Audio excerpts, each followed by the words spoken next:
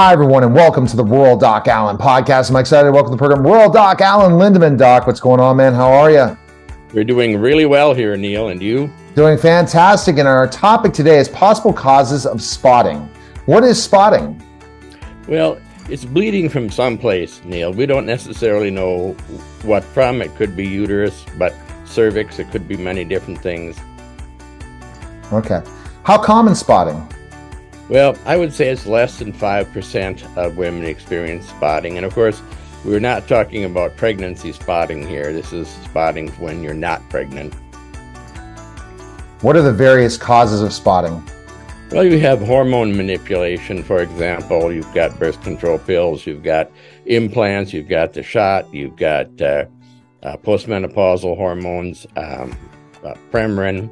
You also have fibroids, and they're benign smooth muscle tumors. And then you have STDs like ureaplasma, mycoplasma, chlamydia, um, gonorrhea, group B. And of course, you can have bleeding from the cervix, could either be an infection or um, carcinoma. And that goes uh, holds true for vagina, uterus, or vulva. You can have bleeding for those reasons. When should a woman be concerned about spotting?